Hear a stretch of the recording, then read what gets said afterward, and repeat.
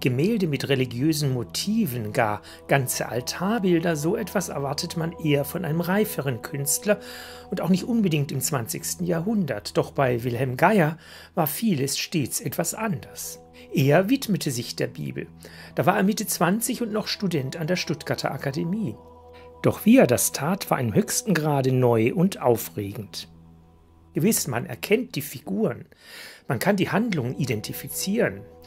In Gaias Apostelaltar zum Beispiel links einige Apostel, in der Mitte den Gekreuzigten und rechts die Kreuzigung Petri. Eine Szene, die selten dargestellt wird. Gaia schuf ganz eigene Bilder zur Bibel. Das wird am deutlichsten in seinem Kirchenjahrsaltar, gewidmet den großen Kirchenjahrsfesten Advent, Weihnachten, Ostern und Pfingsten.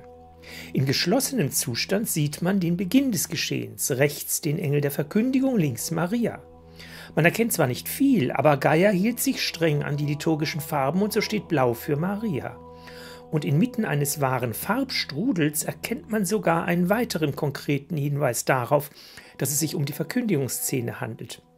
Gaia fügte die Buchstaben AVE, Ave ein, den Gruß, mit dem sich der Engel in der lateinischen Bibelübersetzung an Maria wendet. Es ist ein Vierflügelaltar in traditioneller Manier, der ganz ausgeklappt im Inneren die Dreifaltigkeit zeigt. Traditionelle Formen und Motive also, aber in einer ganz neuen Art gemalt. Wie in Trance scheint hier ein Künstler mit Farbe und Pinsel vorgegangen zu sein. Die Farbe ist in mal großen, mal kleinen Flecken auf die Leinwand gekleckst. Aus der Nähe betrachtet hat man eine vollkommen abstrakte Farbsymphonie vor Augen. Erst aus der Distanz schälen sich die Figuren heraus. Und so exaltiert wie die Malweise wirken auch die Figuren. Schon Geiers Zeitgenossen fanden für diesen Malstil den Begriff ekstatisch. Und Freunde berichten, dass Geier, wenn er malte, vollkommen in den Malakt versunken war, nichts um ihn herum mehr wahrnahm. Dabei hatte er durchaus akademisch begonnen. Frühe Gemälde zeigen deutlich den Einfluss seines Lehrers Landenberger mit der etwas gedeckten Farbpalette. Der Pinselstrich ist aufgelockert.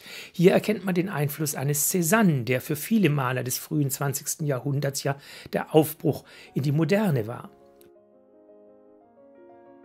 Doch neben diesen eher verhaltenen Bildern entstand auch ein Porträt von Geiers Atelier und da kann man nur noch mit einiger Fantasie Gegenstände erkennen, wie ein Fenster oder einen Stuhl. Ansonsten ist das Farbe pur.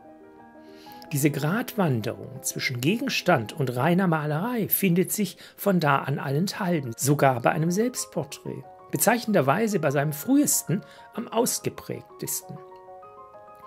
Hier hatte ein junger Maler bereits seinen Stil gefunden bzw. selbst entwickelt. Neben Cézanne stand der späte Lovis Corinth Pate, der den Dingen ja auch gewissermaßen die Haut abgezogen hat und das Innere zutage förderte. Geier ging noch einen Schritt darüber hinaus. Das kann man als expressiv bezeichnen, doch ist der Begriff viel zu schwach. Und bezeichnenderweise waren die Expressionisten den Künstlern rund um Geier nicht expressionistisch genug. Bei Geier findet sich aber noch eine Einflusslinie. In seinen lichten Garten- und Landschaftsbildern erkennt man den Impressionismus. Er schuf eine Synthese aus expressionistisch geprägter Malerei und impressionistischem Farbempfinden. So wird auf seinen besten Gemälden alles zur reinen Farbe. Der Gegenstand aber war ihm stets wichtig. Doch man hat den Eindruck, nur als Anlass in Farbe zu schwelgen. So finden sich natürlich Anklänge an Blumen und Stauden, doch alles aus der Farbe heraus. In einer Landschaft windet sich ein Fluss durch die Wiesen und Berge hindurch. Sogar eine Eisenbahn kann man ausmachen.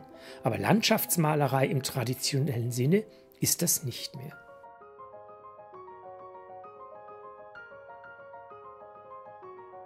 Die Linie spielt in dieser Kunst keine Rolle. Die Farbe muss aus sich herauswirken. Es ist malerische Malerei im besten Sinne des Wortes. Geier zeigt, dass moderne Malerei nichts anderes als Farbgeschehen ist, bis hin zur Auslöschung des Gegenstandes, aber eben nur bis hin.